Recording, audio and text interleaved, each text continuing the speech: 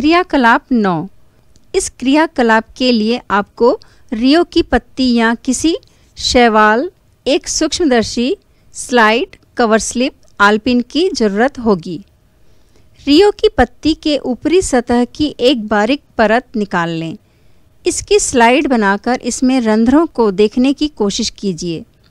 रंध्र के दीवार की सेम के बीच के आकार की कोशिकाओं को ध्यान से देखें इसमें हरा भाग दिखेगा।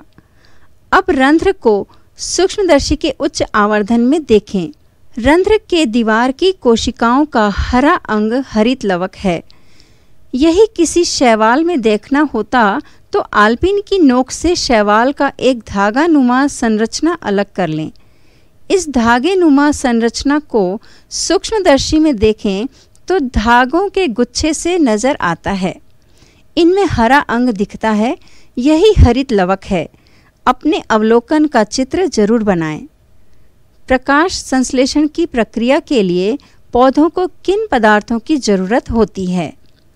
पौधों के हरित लवक तक ये पदार्थ कैसे पहुँचते होंगे? क्या आप जानते हैं?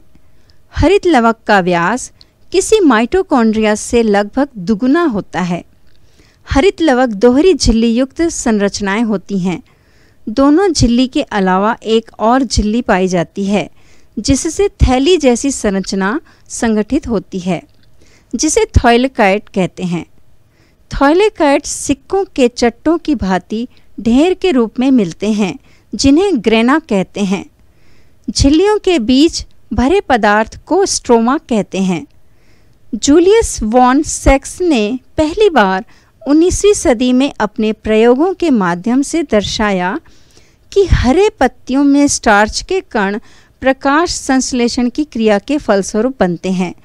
उन्होंने यह भी दर्शाया कि प्रकाश संश्लेषण के लिए आवश्यक रंजक पर्णहरित लवकों में पाए जाते हैं।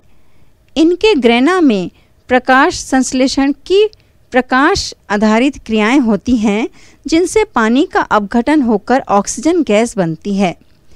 इसके स्ट्रोमा में अन्य प्रक्रियाएँ होती हैं, जिनसे मुख्य रूप से कार्बनिक पदार्थों का संश्लेषण होता है। हरित लवक में शर्कराओं जैसे ग्लूकोज के अलावा अमीनो अम्ल, वसीय अम्ल आदि भी संश्लेषित होते हैं। साथ ही ये पौधों की प्रतिरक्षा प्रणाली में अहम भूमिका निभाते हैं। कक्षा नवीं में हमने पढ़ा कि हरित लवक पौधे की कोशिकाओं में सहजीविता से बना अंग है।